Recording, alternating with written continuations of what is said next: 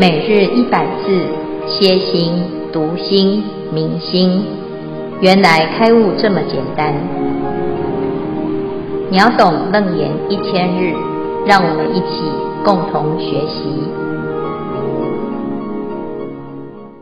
经文段落：善能利益一切众生，名劳逸行。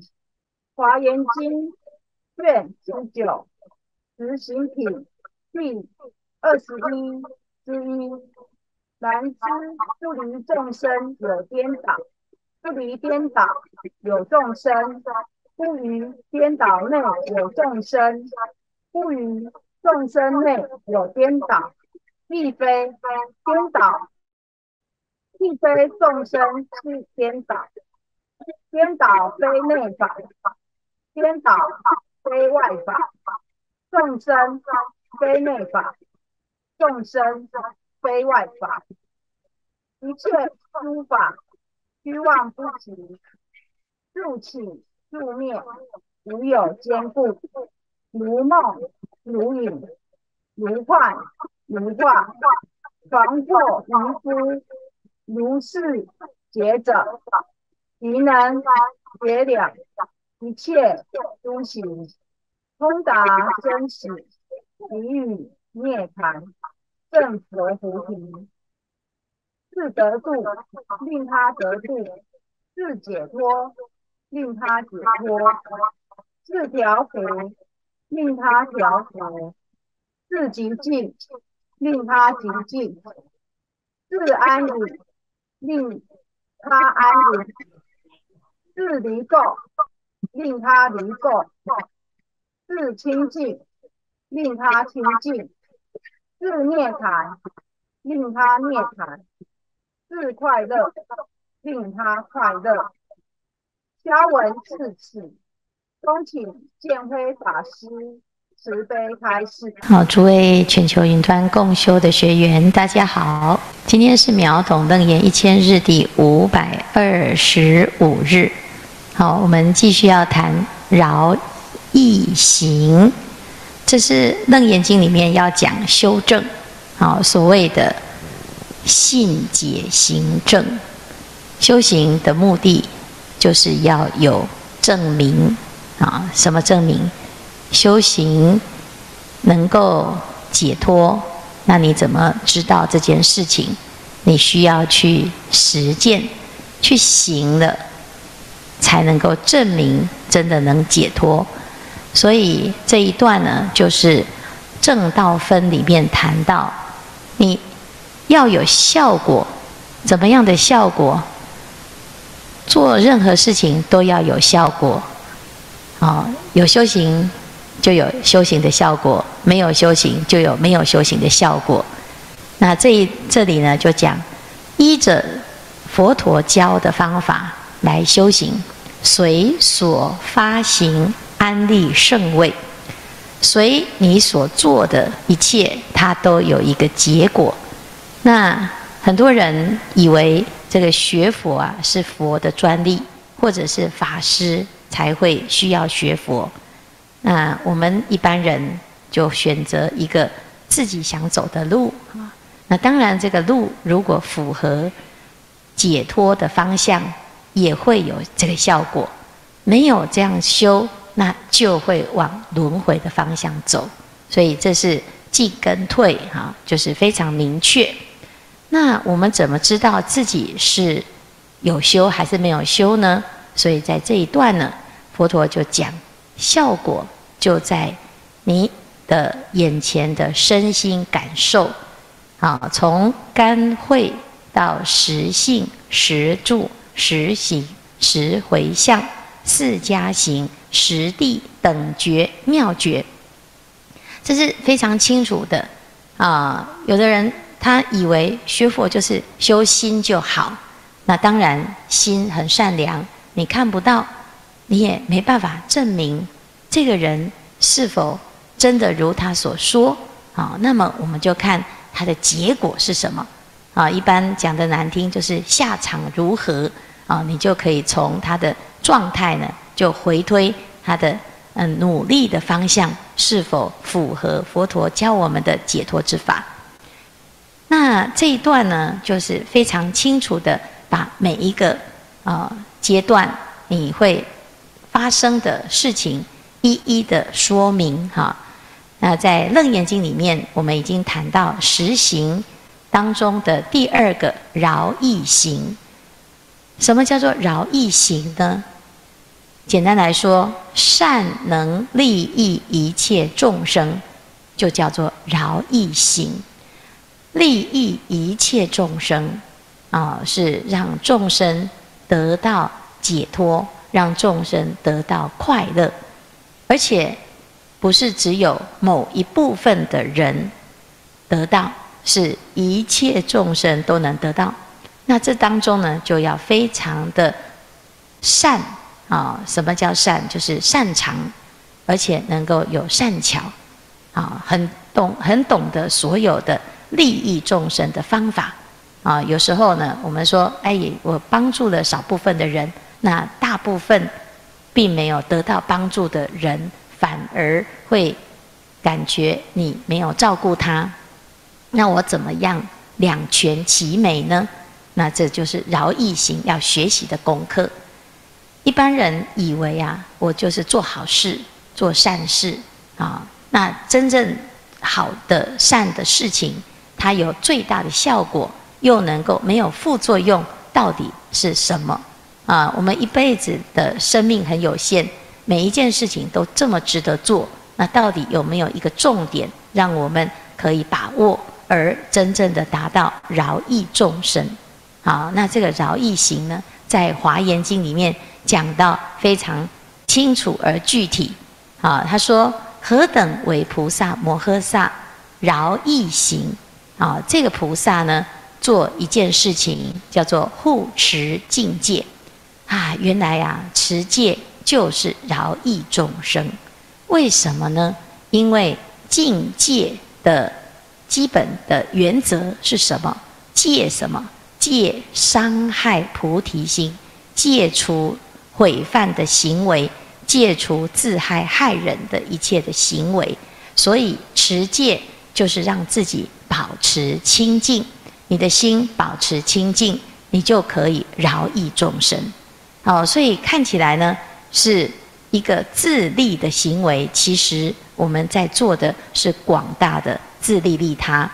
那戒的定义。叫做于色声香味触心无所着，你持了戒，会发现呐，坏事都不能做啊。其实坏事不能做，不是佛陀规定的，而是呢，你做了这些坏事啊，会伤害你自己的清净。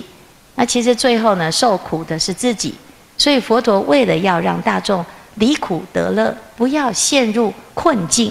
所以就告诉我们哪一些事会伤害我们的清净心，啊，那所谓的贪嗔痴慢疑，啊，面对一切境，你会产生粘着，粘着了之后求而不得，啊，那会有很多的意想不到的结果。所以这根本上从持戒开始来着手，你就可以慢慢的摆脱。对于这些色、声、香、味、触这些诱惑的粘着，跟让你不得不的上瘾的行为，所以当我们清净的戒法建立了之后，你的心自然就解脱。好，所以于色、身、香、味、处心无所着，而且呢，自己受用，还要为一切众生如是宣说。我们要帮助一个人最好的方法，就是鼓励他持戒。那一般人听到要持戒，就觉得很碍手碍脚，绑手绑脚，而且会害怕啊。有的人他会觉得，哎呦，我的身心这么不清净，我持戒啊，如果犯戒怎么办？哈，其实犯戒呢，也没有办法怎么办，犯戒就是犯戒哈。那你就知道如何可以改变。好，那犯的戒要知道错啊。知错能改，善莫大焉。那问题是，有的人以为不要去持这个戒就不会犯戒，那这就是愚痴哈。因为他以为不要看到、不要听到、逃避，他就不会啊去背这个啊罪的结果哈。事实上呢，佛陀持戒教导我们学习戒法，是要让自己可以很有智慧。好，所以为众生如是宣说的时候，他不是带有其他的目的，不是为了威势，不是为了自己的尊贵，也不是为了得到哦持戒的果报哈。啊，那一切呢，都是因为什么？因为佛就是这样子说，所以但坚持境界啊，说我持境界，必当舍离一切缠缚、贪求、热闹、诸难逼迫、毁谤乱着，得佛所赞平等正法。那我要远离这些烦恼哦，不外乎就是希望自己可以清净，而且得到最殊胜的佛的果报。那佛赞叹什么呢？佛赞叹阿耨多罗三藐三菩提。大众呢，自己的心啊，不要陷入痛苦、缠缚、热闹、逼迫，你就很解脱了啊。大部分的烦恼呢，就是这以上所讲的嘛。那如果我们要解脱，佛陀教我们最直截了当的方法，就是你只要坚持境界，你不需要去开记者招待会说你可以，你怎么可以回谤我？你也不需要去告诉很多人说你不可以纠缠于我啊！你只要呢持戒清净，自然你所有的这些困扰，通通都远离，自然就啊不再困扰于我。那这样子不是就是最就近的吗？哦，所以呢，这个平等正法这件事情啊，就是从佛的教导当中来学习。那一切的教法最简单的方式就是持戒哈。那这戒呢，就啊是佛陀给我们最大的礼物了。那菩萨呢，他只会这样子去观察这件事。他说，一切众生呢，常常啊不知道戒是殊胜的，所以他没有持戒的时候，他对于色身香味触这个五欲是贪着的，而且呢非常非常确定，我一定要在里面哈，叫做其心决定单染沉溺。随其流转，不得自在。哈，哎，我确定我一定要轮回哈，因为我是凡人，我是凡夫，我还有凡俗之事，我还有很多的欲望，我一直不断的要在这里面追求，所以随其流转，不得自在。其实我们在这些追求的过程，已经受到这些欲望的控制，成为奴隶了。但是我们不知道，原来我们可以不要它。好，求不得时。是痛苦的，求到了又会有害怕的危险，啊，害怕什么？害怕失去，害怕被剥夺，害怕没有比别人好哈。所以呢，菩萨他就会观察到一切众生都有这种苦恼啊。所以呢，我今应当令此诸魔及诸天女一切众生住无上界啊。一切众生都跟我们一样啊，一样都是很害怕这些痛苦的。那怎么办？最简单的就是让他清净的持戒，啊，那自己持戒得解脱，啊，一切众生得解脱，于一切智心无退转，得阿耨多罗三藐三菩提，乃至入于无余涅盘。哇，这件事情呢，最终的结果就是成佛。那成佛是不是什么都有呢？是的，佛陀有三十二相八十种好。佛陀住在哪里？佛陀住在净土，那里什么都有，你想要什么，通通都有。你在现实生活中还没有这么的自在，还必须要靠两手两脚的努力的去追求，你才可以得到少分。在追求的过程，却又造了很多的恶缘啊，那乃至于呢，给自己带来无限的意想不到的苦恼。那这中间呢，也必须要停下来哈。为什么菩萨他可以坚持境界？那一定有他的原因啊！所以呢，菩萨这样子的发心啊，哎，到底是为了什么呢？啊，何以故？菩萨是这样想的：此是我等所应作业，应随诸佛如是修学。因为菩萨只有一件事情，就是我要学佛啊！你什么人都不用学，你就学佛。那佛怎么做？佛就是持戒哈。做事学以离诸恶行，即我无知，以致入于一切佛法，为众生说，令除颠倒。众生的颠倒到底颠倒在哪里？其实我们仔细去看其实众生的颠倒，我们的颠倒是没有什么原因的啊。那常常就是好像理所当然，我一定要这样。那你仔细去观察啊，如果我们不坚持持戒的时候，我们的心都在忙什么呢？忙一个无所谓的颠倒啊。所以菩萨就知道了，其实众生啊，啊，他跟你讲他不要持戒哦，其实他也不知道他到底要吃什么啊。不持戒的人要坚持什么呢？不知道哈。所以呢，菩萨很清楚，然知不离众生有颠倒，不离颠倒有众生，不于颠倒内有众生，不于众生内有颠倒，亦非颠倒是众生，亦非众生是颠倒，颠倒非内法，颠倒非外法，众生非内法，众生非外法。哦，我们这一段呢就被他颠倒来颠倒去哈。这个颠倒呢是什么？其实根本就没有颠倒。但是我们会一直以为，哎呀，我是众生。但凡你有这种想法，我跟佛不一样，你就是颠倒。那佛做得到，我们为什么做不到呢？哦，其实是我们以为自己不是佛，以为自己是跟佛相反的颠倒的那一个哈。所以我们常常常讲啊，这个颠倒啊，是我们自己定下来的规矩。所以我有没有在轮回呢？哎，有吗？哎，自己觉得有哈，所以呢，你就会一直设定自己是在轮回的这一边，而不是解脱的这边。好，那到底有没有痛苦呢？哎，那这个痛苦好像有哦。到底是谁害的呢？好像是某人哦。你仔细去看哦，是真的是这样吗？其实也不尽然。啊，只是我不知道嘛。不知道的时候呢，你就会以为有一个东西叫做颠倒。啊，乃至于有一个人叫做众生，事实上呢，有这个吗？没有，有内有外吗？没有，哈，一切诸法虚妄不实，速起速灭，无有坚固，如梦如影，如幻如化，狂惑愚夫。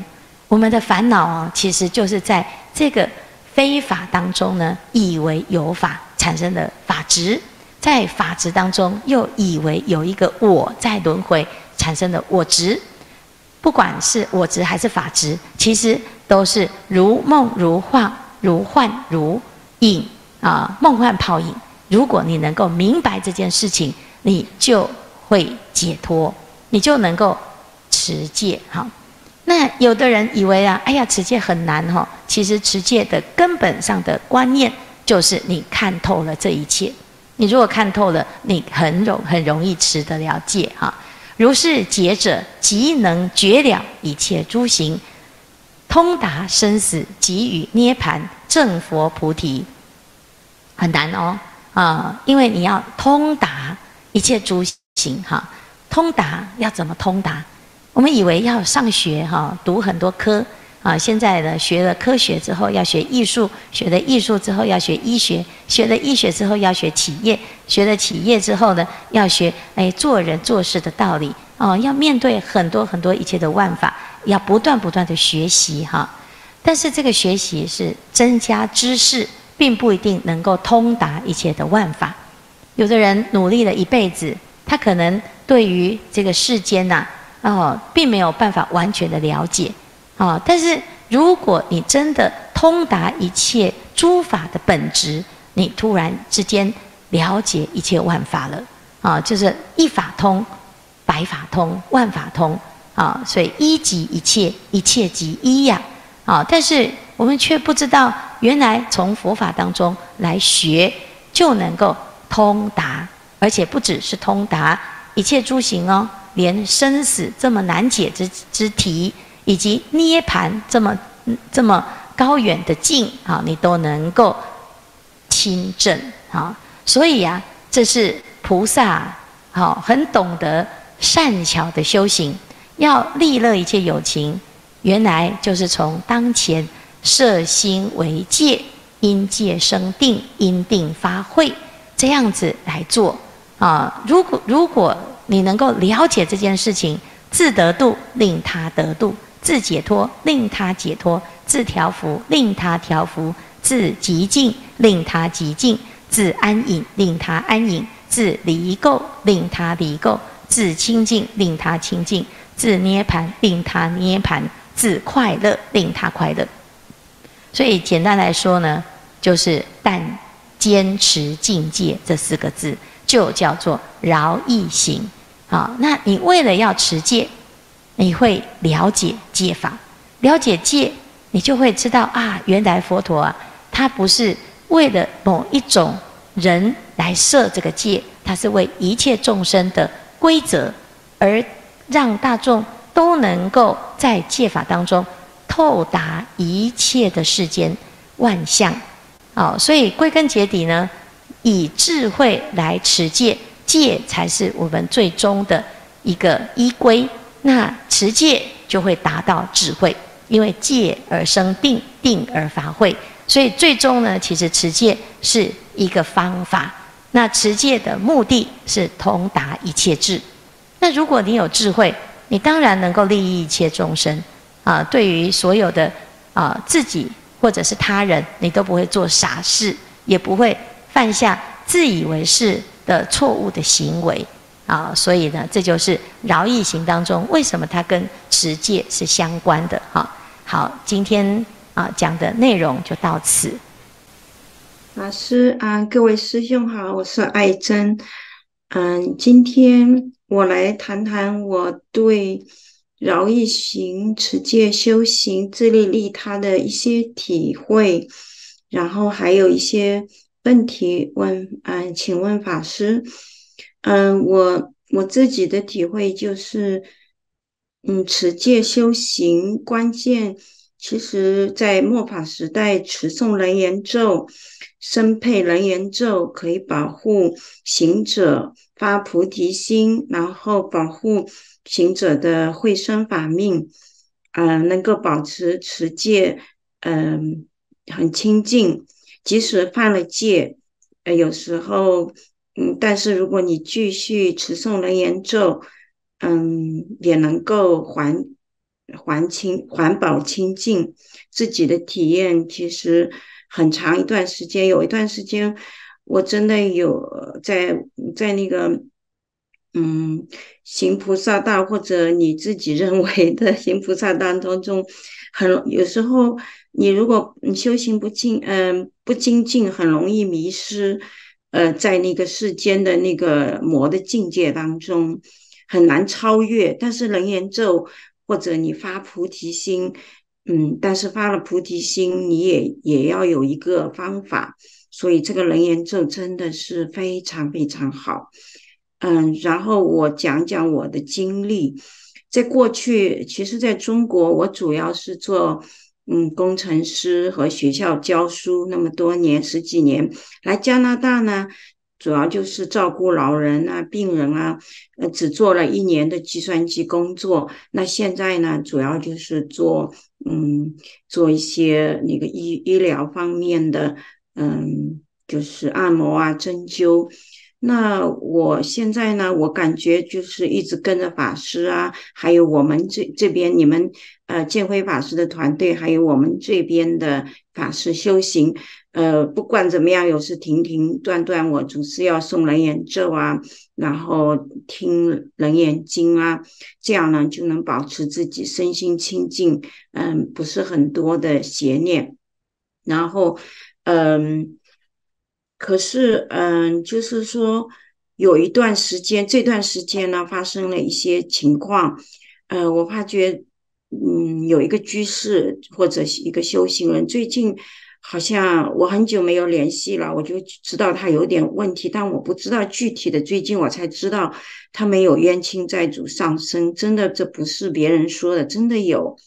那我想问法师，是不是这个跟持戒不清净，或者身体虚弱、妄想多、思想不正啊，这些都有关系？虽然我看他们也在修行啊，也在读地藏经啊，但是我不知道为什么会这样，因为因为我是没有这样的情况，但是我知道在这个五浊恶世真的是很危险的，嗯。魔王随时都在看着你，说不定你有功德的时候，或者是你有一点疏漏，他就会找你麻烦。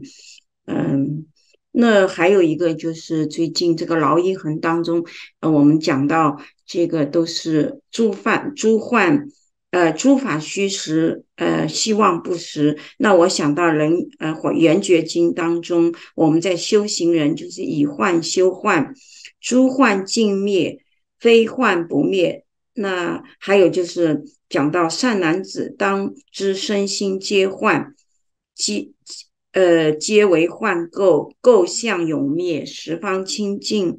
嗯，我很喜欢《圆觉经》，我也听法师在讲。所以我想请法师给我们开示，嗯，感恩法师。好，谢谢艾珍哦。那我们先讲第一个事情哈，刚才所说的这个就是冤亲债主的事情哈。冤亲债主呢，很有很有可能是就是冤跟亲嘛哈。那他是至于他是不是债主，这是我们的讲解释的方式哈。很多人以为冤亲债主哈是一个无形的。鬼呀，哈，或者是业障，哈，哦，就是你的烦恼，哈。那事实上呢，其实当你要持戒的时候啊，要怎么持啊？啊，持所有的戒最高的戒叫做菩萨戒。菩萨戒就是维持菩提心。很多人去受的菩萨戒，你要怎么接受这个戒？就是佛，呃，让。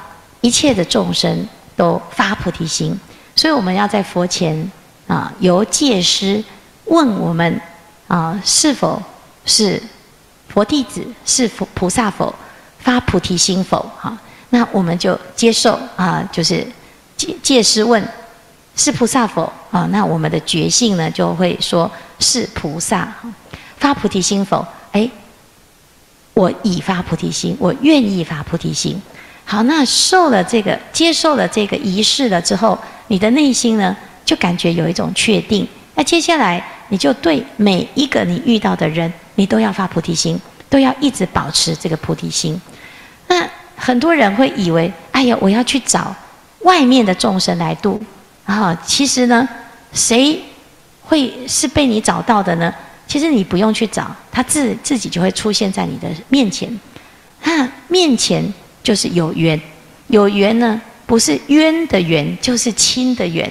哦，常常亲家会变冤家，因为我每天都跟你在一起，我每天都面对你，我很难发菩提心。好，所以很多人其实啊，最难的就是自己的家人、自己的亲人、很熟悉的朋友，因为我已经看了解你的所有。我们对外人可以假装啊，假装我有菩提心。可是你对亲人，你是接要接受他的全部，他有优点，他有缺点，他有顺你的心，也有违你的意的时候，你能不能够不管是什么情况，你都能够保持菩提心，这个才是最高的持戒的重点哈。可是我们常常呢会觉得，哎呀，我被困扰了，我被诶被这个缠绕了，好，那我就把这个问题呢。推卸给冤亲债主啊，其实呢，也有可能是身体坏掉了，所以产生幻觉；也有可能他最近气血太虚，也有可能他压力太大，也有可能是啊，因为他的心不够慈悲啊，没有那个力量，所以遇到任何的困境的时候，我们很容易用“冤亲债主”四个字来解释。其实你很简单，是冤也好，是亲也好。是债主也好，是债权人也好，你只要发菩提心就没有问题啊！所以持戒啊，是不是要这样子就会很发心哈？那也不见得，不见得是要为了冤亲债主而发心，是你就本来就有具足这种菩提心，不用可惜呀。我们大部分的人都能够发菩提心，你为什么不发呢？这是问题呀，啊，那总是要遇到债主啊，人家来讨债，好吧，我只好发了哈，这样子不叫发心啊，这样子叫做还债。你的还债是很痛苦的，很不甘心的，很很倒霉的。我被你遇到了哦，你看每个人都拜三昧水忏，看到悟达国师真衰呀哈。怎么会没事呢？去接受一个皇帝的捐赠，然后呢，自己起了傲慢心之后，马上业障现前。那你要想想看呐，我们每个人都是误达国师，我们也有可能是那一个人变床啊。你的心如果有冤的时候啊，那对方啊就不自觉的就变成债主了，哈，是不是？怎么那么倒霉哈？你你本来没有学佛，你不会把你的家人归纳成冤亲债主这四个字，没有这个名词哦。自从学佛之后，为什么我们突然就变冤亲债主了呢？是不是？所以为什么有的人学佛啊，学到后来会众叛亲离？大家都不喜欢跟学佛的在一起，因为在你的眼中，我就是那个业障鬼哦，我就是那个我没学佛，你都不会知道要骂我哈。你你学佛啊，哎，你就学了很多的名词哦，还会知道有地狱哦哈啊，还会有知道有业障哦。那你看，我们是不是常常用佛法帮自己建立很多冤亲债主？好，所以我们要改变，不是冤亲债主，就是我们的报恩哦。我们报恩的对象，这是我们的菩萨，这是我们能够发菩提心的机会。那这样子呢，你对于所有的问题，它都不再是问题。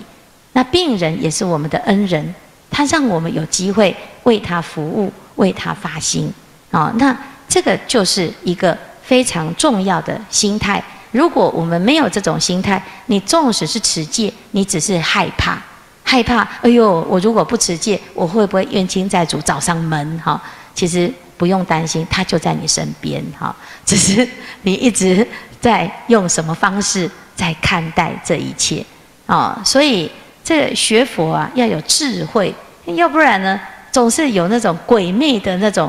啊，传说哈，都市传说已经够多鬼了哦，再加上学佛又学了一大堆啊，这种可怕的名词哈，那每天都要消业障，那业障越来越多哈，所以啊，请大众有很好的心态去修这个叫做利益一切众生，持戒就是大饶益，好，那这样子呢，每一件事情都有得解哈。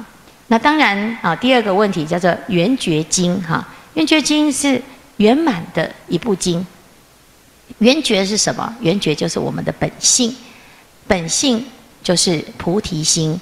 那一切众生都有圆觉自性，因此只要发菩提心，你就是叫做圆觉经的行者，就是可以实践你的内心当中的圆满啊。那不管你从哪一部经，最终都是回归到。心就是佛，佛就是心，这样子的理念，你就不会哎，感觉好像到底要读哪一本经啊？啊，每一本经其实都在讲我们的心是究竟圆满的哈。好，谢谢爱珍哈。